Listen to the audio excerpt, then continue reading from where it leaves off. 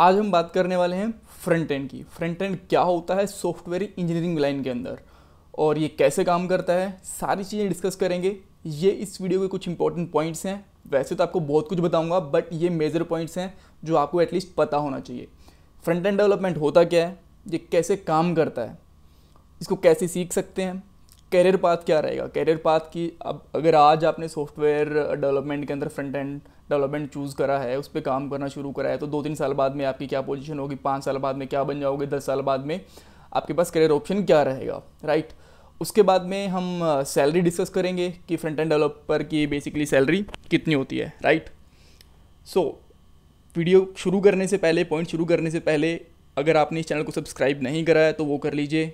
अब क्यों करना है? देखो, इसके रीज़न काफ़ी सारे हैं। अगर आप अभी स्टडी कर रहे हैं या फिर आप जॉब ढूंढ रहे हैं, आपको सॉफ्टवेयर इंजीनियर बनना है राइट तो आपको ये चैनल सब्सक्राइब करना चाहिए क्योंकि मैं लेटेस्ट टूल्स होते हैं टेक्नोलॉजी होती हैं इंटरव्यू क्वेश्चन वगैरह भी लेके आऊँगा। जो जो चीज़ आपको पता होनी चाहिए, वो सारी सारी चीज़ें मैं आपको इस वीडियो के अंदर बताऊँगा राइट सेकंड चीज़, अगर आपको टेक्निकल न्यूज़ के अंदर इंटरेस्ट है कि दुनिया के अंदर क्या टेक्निकली आ रही है चीज़ें क्या क्या चीज़ें बन रही हैं तो भी आप इस चैनल को सब्सक्राइब कर सकते हो। और अगर आपके पास जॉब है, लेकिन जॉब से आप सेटिस्फाइड नहीं हो तो भी आप चैनल को सब्सक्राइब कर सकते हो, क्योंकि मैं आपको सैलरी स्ट्रक्चर कैरियर पाथ्स वगैरह क्या होते हैं, इस वीडियो के अंदर नहीं, बल्कि सारी वीडियोस के अंदर जो भी टॉपिक से रिलेटेड से होते है सॉफ्टवेयर इंजीनियरिंग हर किसी के अंदर बताता हूँ, और अच्छी कंपनीज़ के अंदर जॉब कैसे मिल सकती है, वो सारी चीज़ें मैं आपको बताता हूँ राइट तो सबसे पहला क्वेश्चन आता है कि फ्रंट एंड डेवलपमेंट डेवलपमेंट होता क्या है? फ्रंट एंड टर्म क्यों यूज़ करते हैं और कैसे होती है? देखो एक जब एक वेबसाइट बनती है तो उसके अंदर काफ़ी सारे पार्ट्स होते हैं राइट उसके अंदर डिज़ाइनिंग के लिए कुछ चीज़ें यूज़ होती हैं, कुछ चीज़ें डेटाबेस के लिए यूज़ होती हैं, कुछ चीज़ें लॉजिकल इम्प्लीमेंटेशन के लिए होती हैं राइट तो फ्रंट एंड भी उनमें से एक है। जब डेटाबेस से हम डाटा को फैच करते हैं तो इतना सिंपल नहीं होता कि हम उसको डायरेक्टली दिखा दें। तो उसको थोड़ा सा तोड़ना मरोड़ना पड़ता है। और तोड़ मरोड़ के फ्रंट एंड के ऊपर दिखाना वेबसाइट के ऊपर दिखाना, ताकि लोगों को वो आराम से रीडेबल फॉर्म के अंदर और लोग उसको पढ़ सकें। वो बेसिकली एक फ्रंट एंड डेवलपमेंट होता है। अब अगर आपको मैं ये दिखाऊँ, ये भी एक वेबसाइट है स्लाइड्स डॉट कॉम इसके ऊपर जो ये कंटेंट देख रहे हो आप, ठीक है, ये आपको फ्रंट एंड की वजह से दिख रहा है। क्योंकि ये वेबसाइट अपने आप में एक फ्रंट एंड है। इसके बैक एंड में एक डाटाबेस होगा। अब ऐसा तो है नहीं कि डाटाबेस से जो भी डाटा आएगा, वो ऐसा कैसा छप जाएगा और ऐसा ही होता है। वो अलग फॉर्म के अंदर होता है, उसको हम इजीली रीड नहीं कर सकते। किस फॉर्म में होता है, वही मैं दिखाऊँगा राइट तो अब यहाँ पे आने के बाद में हम उसके अंदर कलर्स वगैरह ऐड करते हैं लॉजिकल चीज़ें ऐड करते हैं, काफ़ी सारी चीज़ें बनती हैं राइट तो ये होता है बेसिकली फ्रंट एंड आप कह सकते हो कि एक वेबसाइट के ऊपर जो भी आपको दिख रहा है, वो एक फ्रंट एंड डेवलपमेंट होता है। फ्रंट एंड होता है राइट अच्छा और अगर आपको एक नॉर्मल लैंग्वेज के अंदर यानी कि एक डेली बेसिस के ऊपर एक एग्जांपल लेना है तो मैं आपको बताता हूँ। जो इंजन का ऊपर वाली बॉडी होती है, जो आपको दिखती है अच्छी अच्छी दिखती है, कि यार ये हेडलाइट है, ये इसका बम्पर है, और ये इतना अच्छा डिज़ाइन बना हुआ है, वो बेसिकली इसका फ्रंट एंड होता है, और जो उसका इंजन होता है, उसकी बैटरी होती है उसकी अंदरनल इंटरनल फंक्शनैलिटी होती है, वो उसका बैक एंड होती है। बैक एंड के ऊपर मैं वीडियो बनाऊँगा बट अभी के लिए हम फ्रंट एंड समझते हैं। आपको समझ में आ गया, जो भी हमें वेबसाइट के ऊपर दिख रहा है, वो बेसिकली फ्रंट एंड है। राइट? अच्छा इसके अंदर क्या क्या चीज़ें होती हैं जो आपको कलर दिख रहा है, इमेजेस दिख रही हैं, टेक्स्ट दिख रही है, जो आप पढ़ सकते हो इन्जॉय कर सकते हो, देख सकते हो, वो बेसिकली फ्रंट एंड होता है राइट कहाँ कहाँ दिखता है? जहाँ पे भी आप इंटरनेट ओपन कर सकते हो, जहाँ पे भी आप वेबसाइट को यूज़ कर सकते हो, चाहे वो मोबाइल हो, चाहे टैम चाहे टैबलेट हो, चाहे कंप्यूटर हो लैपटॉप हो, वहाँ पे फ्रंट एंड डेवलपमेंट होता है राइट अच्छा अब बात है, काम कैसे करता है? देखो, आप ये समझ सकते हो कि ये हमारा डेटाबेस है, ये सर्वर है। अब यहाँ से डाटा आता है, यहाँ पे। अब जो डाटा होता है ना, वो ऐसा नहीं होता, इतना इजी फॉर्मेट में नहीं होता कि जहाँ पे दिखा दिया। वो एक अलग फॉर्मेट में होता है, ठीक है? तो उसको हम क्या करते हैं, यहाँ पे दिखाते हैं। अब दिखाते कैसे, यहाँ से यहाँ तक डाटा कैसे आया? यहाँ से यहाँ तक ए पी आई की हेल्प से डाटा आता है। अब ए पी आई क्या होता है, उसके लिए मैंने अलग वीडियो बना रखी है, अगर आप चाहो तो देख सकते हो। तो बट बेसिक फॉर्म में कहो तो यहाँ से डाटा आता है एक नेटवर्क के थ्रू राइट यहाँ पे डाटा आया और हमें फ्रंट एंड के ऊपर दिखा दिया। अब हमें कुछ डाटा वापस भी भेजना होता है तो वो भी ए के थ्रू जाता है, वो भी हम स्टोर कर देते हैं। फ्रंट एंड डेवलपर का काम दिखाना दिखाना नहीं होता, और भी कुछ काम होता है। मान लो कि एक फेसबुक के ऊपर आपको नई आईडी बनानी है तो वो भी फ्रंट एंड डेवलपर का काम होता है। गूगल के ऊपर आपको एक नया यूज़र रजिस्टर करना है तो भी, वो भी एक फ्रंट एंड क्या करता है कि आपकी सारी इन्फॉर्मेशन उठा के कलेक्ट करके जो अपने नाम डाला है फ़ोन नंबर डाला है ईमेल एड्रेस डाला है, वो सब कुछ कलेक्ट करके डेटाबेस के अंदर स्टोर करवा देता है। ठीक है? तो वो बेसिकली फ्रंट एंड का काम होता है फ्रंट एंड डेवलपर का। राइट? अच्छा अब देखो, इस फॉर्म के अंदर डाटा आता है। जब ए से, जब डेटाबेस से डाटा आता है ना, अब इस फॉर्म के अंदर आता है। नेम ऐसे आएगा एज ऐसे आएगी ईमेल एड्रेस ऐसे आएगा। तो ये तो हमारे लिए रीडेबल फॉर्म है ही ना, जैसे कि ये इमेज है।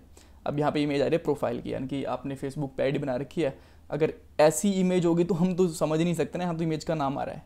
तो अब इन चीज़ों को सबको हैंडल करके एक अच्छे फॉर्मेट में दिखाना, वो बेसिकली फ्रंट एंड डेवलपर का काम होता है राइट तो अब मेरे हिसाब से आपको ईजिली सारी चीज़ें समझ में आ गई हैं कि फ्रंट एंड डेवलपर क्या होता है राइट अच्छा अब फ्रंट एंड डेवलपर स्टार्ट कैसे कर सकते हैं? मैं कहूँगा बेसिक से शुरू करना है आपको तो सबसे पहले HTML सीखिए। HTML बहुत आसान होता है, उसके अंदर कुछ बड़ी चीज़ें नहीं होती। आप टोटल 20-25 टैग भी सीख जाओगे ना तो भी बहुत हैं आपके लिए, ठीक है? आपको बाद में ज़्यादा आइडिया डेप्थ में आता रहेगा बट स्टार्टिंग के अंदर 20-25 टैग तो बहुत होते हैं। उसके बाद में आप थोड़ी बहुत जावा स्क्रिप्ट पढ़िए। जावा स्क्रिप्ट में वही जो सी सी प्लस प्लस के अंदर होता है ना, वही सब कुछ होता है। वही फोर लूप होते हैं स्विच स्टेटमेंट होती है इफ़ एल्स कंडीशन होती है, वही सारी चीज़ें होती है, वही पढ़ो।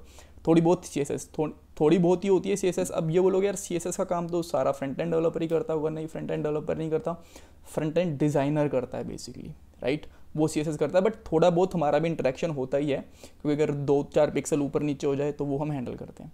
जावा स्क्रिप्ट फ्रेमवर्क जब आप चीज़ चीज़ों तीनों चीज़ें बेसिकली सीख जाओगे ना हल्की हल्की तो आपको जावास्क्रिप्ट फ्रेमवर्क पे आना होता है। बेसिकली आपको मैं सही बताऊँ तो जो ये तीनों चीज़ें होती हैं ना, अपने आप में डायरेक्टली यूज़ नहीं करते हम फ्रंट एंड डेवलपमेंट के लिए।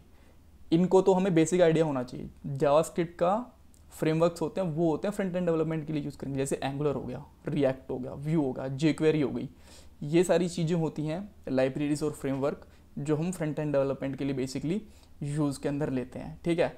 क्योंकि कोर के अंदर बनाना बहुत मुश्किल होता है। अगर कोर में बना तो सकते हो बट ये हमें बहुत सारी अपने आप में फ़ंक्शन फंक्शनलिटी दे देते हैं जो इजीली बिल्ड कर देते हैं अपने आप चीज़ें। ठीक है?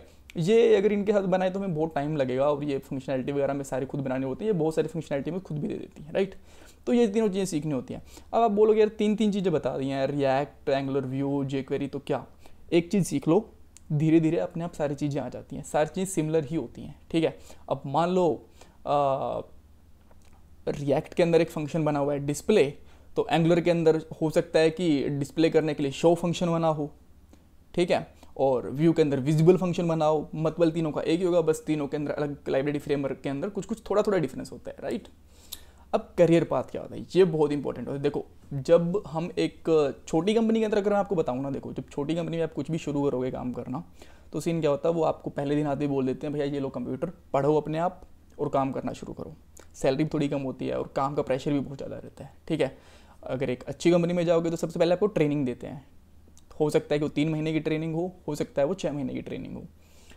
उसके बाद में तब आप कहलाए तो ट्रेनिंग उसके बाद में आप एक फ्रंट एंड डेवलपर बन जाओगे। फ्रंट एंड डेवलपर आप दो या तीन साल के से आपके बाद आप सीनियर डेवलपर बन जाओगे और पाँच से छः साल के बाद में आप लीड फ्रंट एंड डेवलपर बन जाओगे। ठीक है, अब लीड क्या होते हैं? यानी कि पूरी टीम को लीड कर रहे होते हैं, सात आठ डेवलपर होते हैं, उनको इंस्ट्रक्शंस देते हैं, उनको बताते हैं भाई ऐसे ऐसे काम करो। ठीक है? क्योंकि अब आपको बहुत ज़्यादा नॉलेज हो चुकी होती है फ्रंट एंड डेवलपर के हाथ में। आप मैनेजर से इंटरेक्ट करते हो क्लाइंट से इंटरेक्ट करते हो राइट इसके बाद में आपके पास दो ऑप्शन होते हैं। एक तो आप मैनेजर बन सकते हो, ठीक है? अब जब मैनेजर बनते हो ना तो आपका फिर कोडिंग वोडिंग से बहुत ज़्यादा लेना देना नहीं होता। या फिर आप फ्रंट एंड आर्किटेक्ट बन सकते हो। आर्किटेक्ट क्या करता है? एक बहुत बड़ा प्रोजेक्ट आ गया आपके पास। उस प्रोजेक्ट को अच्छे से कैसे बनाना है? कहाँ कौन सी फ़ाइल होनी चाहिए? कैसे इंटरेक्ट करवाना है बैकएंड से? बहुत सारी चीज़ें होती हैं, तब वो सब कुछ उसका स्ट्रक्चर बना के देता है बेसिकली ठीक है, वो उसके स्ट्रक्चर पे काम करते हैं। और ये, या तो आप मैनेजर बन के तो आपको कोडिंग से कुछ लेना देना नहीं है। और यहाँ पे जाके ना जब आप लीड फ्रंट एंड से निकल जाते हो तो फिर आपके लिए सबका करियर पाथ सेम सही हो जाता है। अब ये बन गए, अब इनसे ऊपर क्या होता है? उनसे ऊपर डिलीवरी हेड होता है। अब डिलीवरी हेड भी चाहे तो एक कंट्री का डिलीवरी हेड हो सकता है, और एक ब्रांच का डिलीवरी हेड हो सकता है, एक सिटी का डिलीवरी हेड भी हो सकता है। उसके बाद बन सकते हो आप सीटीओ अब सीटीओ होता है चीफ टेक्निकल ऑफिसर उसके बाद में कंपनी में एक मालिक ही होता है भैया, उसके बाद और कोई और नहीं होता, ठीक है? अब सी बन गए, और इसके बाद हो सकता है जब आप सी टी बनो, आपको सैलरी के साथ साथ कंपनी के अंदर कुछ शेयर्स भी मिल जाए कि भैया पाँच परसेंट हिस्सा आपका, दस परसेंट हिस्सा आपका है। ऐसा भी हो सकता है, और आप फिर वही जस्ट उसी में कंटिन्यू करते हो। या फिर आप एक अपना छोटा स्टार्टअप भी खोल सकते हो, जैसे कि आपको बहुत बढ़िया आइडिया आ गया तो जैसे कि ओयो रूम्स का है तो ऐसे कुछ स्टार्टअप खोल सकते हो, ठीक है? ओला कैब जैसा है तो ऐसे भी बड़े बड़े स्टार्टअप्स बने गए हैं बट जो शुरू में काफ़ी छोटे तो ऐसा कुछ स्टार्टअप भी ओपन कर सकते हो राइट अब सैलरी क्या होती है? देखो, ये पे स्केल डॉट कॉम होता है, जो पूरी आर एन डी करता है, किस कंट्री के अंदर क्या सैलरी होती है। बट यहाँ पे मैं बताऊँ, जो इन्होंने सैलरी बताई हुई है ना तो मैं आपको सही बताऊँ तो इससे थोड़ी सी ज़्यादा सैलरी होती है, ठीक है? तो ये कहते हैं कि अगर एक साल से अब कम एक्सपीरियंस है तो आपकी सैलरी एक साल की तीन लाख रुपये होगी, ठीक है? ये मैं इसकी बात एग्री कर गया कि जब शुरू शुरू में आप करते हो, एक साल से कम एक्सपीरियंस होता है तो आपकी तीन लाख, साढ़े तीन लाख, चार लाख के आसपास सैलरी होती है। यहाँ पे एक से तीन साल के बाद में देखो ये एवरेज सैलरी है ठीक है? अब हो सकता है कि थोड़ी आर एन डी पुरानी हो बट मैं छः साल से इंडस्ट्री के अंदर काम कर रहा हूँ मैं इंटरव्यूज़ भी लेता हूँ और ओब्वियसली uh, जो ये सैलरी फॉलो है इससे मेरी सैलरी भी ज़्यादा है राइट और ओब्वियसली मेरे कलीग्स की भी ज़्यादा है तो इससे थोड़ी सी ज़्यादा सैलरी होती है राइट एक्चुअली uh, मैं फ्रंट एंड डेवलपर ही हूँ अभी राइट सो so, जब आपकी पाँच साल एक्सपीरियंस के बराबर हो जाती है तो इन्होंने अराउंड फाइव लाख दी हुई है तो आप कह सकते हो कि छः से सात लाख सैलरी बन जाती है। जब आपका दस साल एक्सपीरियंस हो जाता है तो तेरह से चौदह लाख की सैलरी बन जाती है राइट और uh, साल की बात कर रहा हूँ मैं यहाँ पे। और जब आपका दस साल से ज़्यादा एक्सपीरियंस हो जाता है जब दस साल से ज़्यादा एक्सपीरियंस हो जाता है ना तो आप मैनेजर लेवल पे आ जाते हो और तब आपकी जो सैलरी सही बताऊँ मैं दो से तीन लाख रुपये पर मंथ यानी कि चौबीस पच्चीस लाख रुपये के आसपास चली जाती है सैलरी राइट सो so, ये था पूरा एक एनालिसिस की फ्रंट एंड डेवलपर की जॉब में क्या क्या कैरियर ऑप्शंस हैं क्या क्या जॉब वगैरह हैं सब कुछ। और कुछ कन्फ्यूज़न है तो मुझे कमेंट बॉक्स में पूछ सकते हो। चैनल को सब्सक्राइब करना वीडियो को लाइक करना। मत भूलेगा बाय बाय टेक केयर